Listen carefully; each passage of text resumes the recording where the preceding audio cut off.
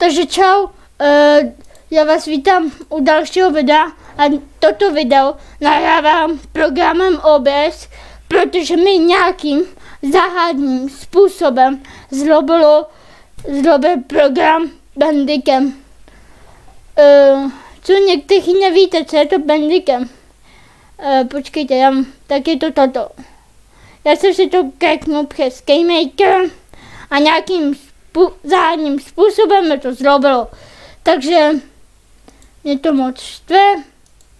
A já si to když tak dám takhle, abych věděl, že jako OK, že jako nahrávám. A tak, ale dneska bych se chtěl zaměřit na uh, historii mistrovství světa. Protože my se vždycky bavíme o letošním mistrovství světa, ale není na to si připomenout toto mistrovství světa. Uh, no, v tomto mistrovství světa. Takže si připomeneme mistrovství světa v 19, rok 1930, kdy to bylo čtvrté mistrovství světa a 15. mistrovství Evropy. No a co u tohohle programu není asi moc OK, je to, že se to nějak nedá zastavit. No, takže tak, no, ale uh, někteří to na některých, ale prostě už bych chtěl ty videa editovat, protože jak mám tady ten program, tak mě na mě nejvíc trochu, ne nejvíc, ale trochu štve, že se to nedá stopnout. Sami vidíte, nikde se to nedá stopnout. No a proto musím nahrávat tak či tak. Takže si připomeneme to, že se to hrálo 2. února, 5. a 9. 5. až a 9. až 10. února 1930 v Chamonix ve Francii, ve Vídně v Rakousku a v Berlíně v Ně- Německu. Po mistrovství Evropy v Budapešti 1929 direktore, direk, direktoriát LIHG na svém zasedání rozhodl, že počínaje rokem, počínaje rokem 1930 se bude hokejové mistrovství konat v některé členské zemi LIHG na jednu, ne jednou za čtyři roky, jak tomu bylo dosud dáno, ale každoročně. Jo, také bych chtěl připomenout to, že se dříve mistrovství světa hrálo uh, jednou za čtyři roky. Což jako bylo jako docela jo, ale jste si vždycky museli počkat na to, až bude další mistrovství světa a pak až bude zase další. A to už prostě, ne, ne, ne, to už prostě chekli. Tak, uh, mistrovství světa uděláme každoročně, aby se prostě dali i další země, že prostě uděláme to tak, protože to bude lepší, aby mohli každý rok jezdit na mistrovství světa. No a řekli si to a takhle už je to dosud. A já si myslím, že je to lepší, protože předtím to, ještě, že v téhle době jsem ještě nežil, protože jinak, se, jinak bych se musel počkat na to mistrovství světa a taky No, věc byla ta, že, ta, že se ten ČT Sport neexistoval. Existoval v roce 2005, ale na webu to začínali dávat až v roce 2007. Ale uh, co bych chtěl taky to dodat, je to, že v roce 1930 neexistovaly mobily, elektronika, ne, nic. Proto se buď to museli poslouchat v rádiu, nebo na ten zápas jít. Nic jiného nebylo. Jenom tyhle dvě věci. Neměli jste vůbec šanci to vidět v televizi. A tady to vím, protože jsem moc chytrý. No, A když si myslíte, že ne, tak uh, tak nevím, tak prostě se mýlíte, protože já tohle vím, sice jsem v téhle době nežil, ale vím to no, ale uh, teďka prostě je to tak, že se mistrovství světa hraje každoročně. No. A tady máte normálně soupisku nebo první kolo nebo výsledky, prostě ča- zkrátka, no. A v té době hráli hokej třeba, no Itálie měla jinou vlajku, možná, možná Maďachy, ale hrálo Československo, což znamená, že pokud se nemýlím, tak vyhráli titul, jako, já nevím, jestli je to vůbec pravda, ale možný to mož, možná je. Ale i Kanada koukám ne, že má jinou vlajku. No, tak jako, nevím, ale oni teďka mají jinak ty vlajky, než měli. Tady to bylo konečné pochadí. A tady to bylo asi pochadí schémě mistrovství Evropy, nebo nevím. A no, a tady to je mistrovství světa. My jsme skončili na místě šestém. Mm, ale koukám, že i nejen my, ale i Maďachy, Francouzi i Japonci jsou na šestém místě. Celkem štychytnými jsou na šestém místě, no. Takže to bylo k tomu a teďka si chykneme něco taky zajímavého. Třeba to, že Kanada vyhrála zlato, Němci stříbro a Švýcaři bronz. No, to je součástí toho mistrovství světa v ledním hokeji 1930. Následující ročník 1931, dneska je 2019, takže buďme rádi, že mistrovství světa se hraje každoročně. Já jsem velice, velice rád, No akorát, že to nějak um, to se ne, nesvědčím, ale to je jedno prostě. Už jsem něco chtěl chýt a zapomněl se to. Tady to jsou externí odkazy na něco. Já doufám, že to taky souvisí nějak s hokejem. Mm, jo, tady to je jenom nějaká blbost, prostě nevím proč, proč to se vůbec zdávají nechápu.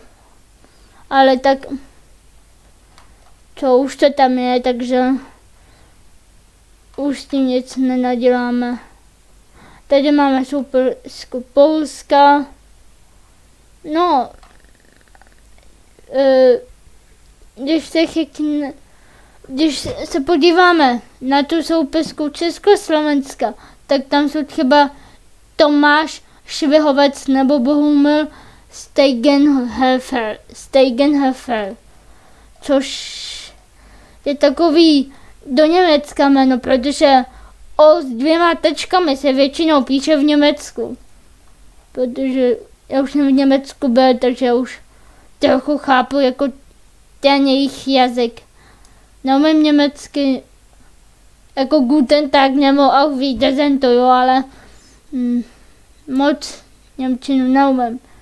No, takže tady to je Wikipedia, odkaz dole v popisku, taky si to přečtěte, protože mistrovství světa bude uh, už zítra, takže jenom se koukněte, už zítra bude mistrovství světa, takže doufám, že se to, bude, si to budete sledovat a buďte při každém hokeji prostě. Takže tak, no. Ale na co se podíváme, tak je e, možná, já nevím, kde to je, ale, ale lístky už nádit. To už to. Takže, okay to koukáte, jak rychle píšu, protože já nejsem nikdo z nich, kdo by měl psát. Tady to už jsme se chekli. Ale pro jistotu, pokud jste nezhlédli toto video, tak ne toto minulé video, to předešli, odkaz vpravo na oché kartě, tak si to zopakujeme ještě jednou.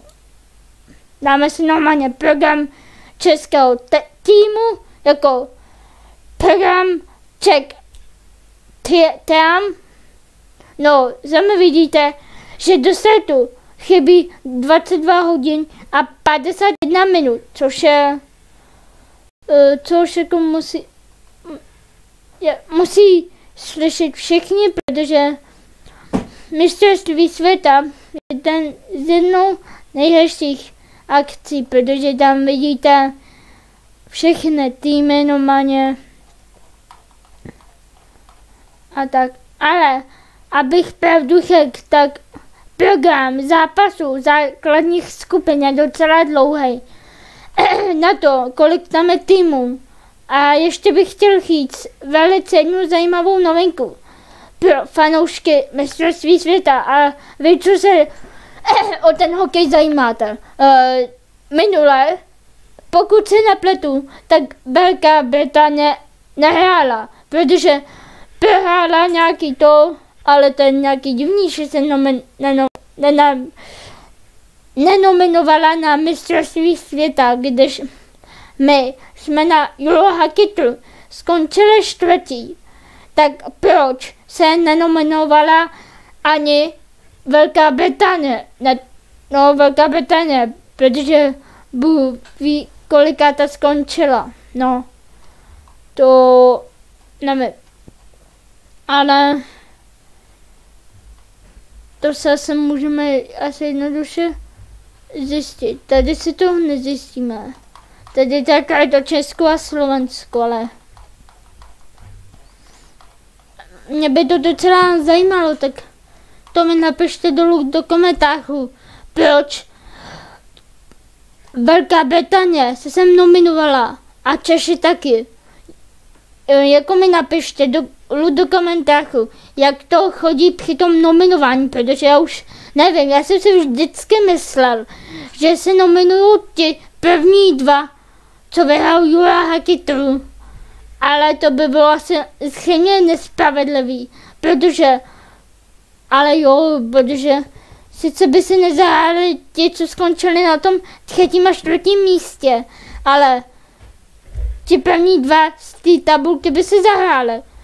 No to mi jako do, do komentářů napište, jako proč to, proč to se nominovala Angl- Velká Británie a jak to zkrátka chodí při tom nominování na mistrovství světa v ledním hokeji. To by mě docela zajímalo.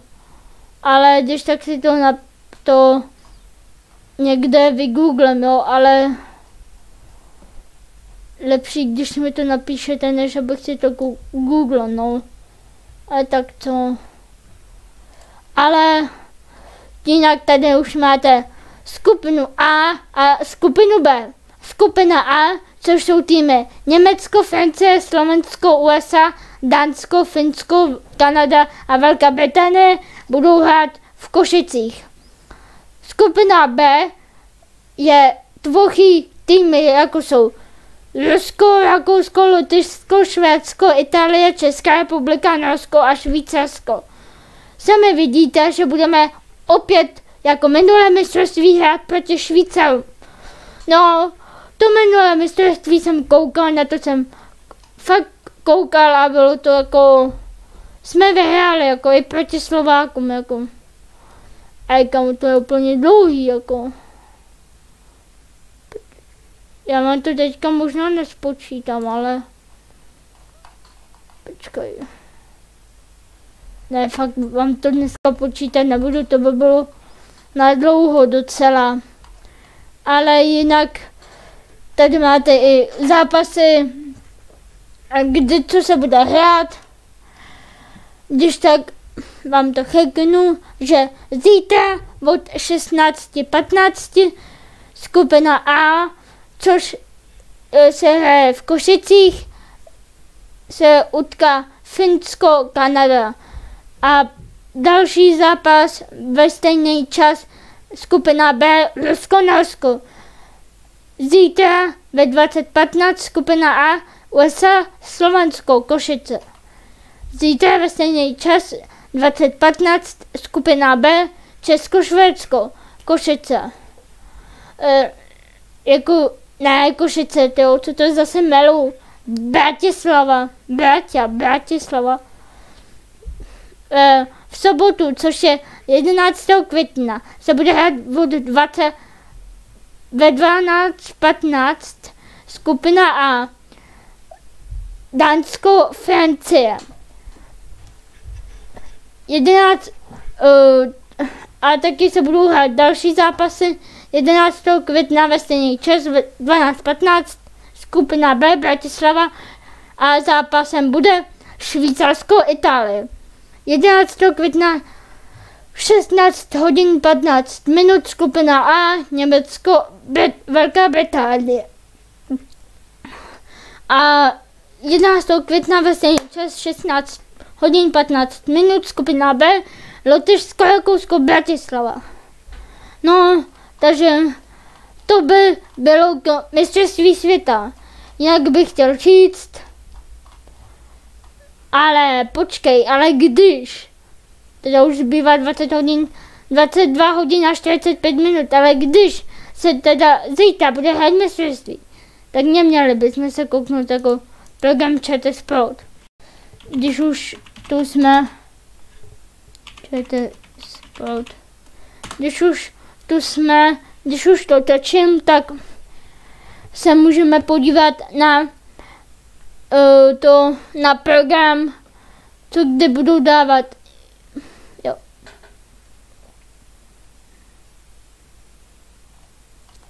Čekaj. TV program České televize. No, aby jsme se mohli chytit, jako co budou vysílat a co ne. No, počkej, aha, došlo. Chyběl internetu, tak ale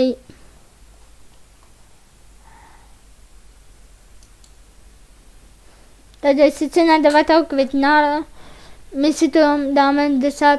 Doufám, jo, jde to úplně v pohodě, kamo, proč by to nešlo, no, to by bylo hodně divné.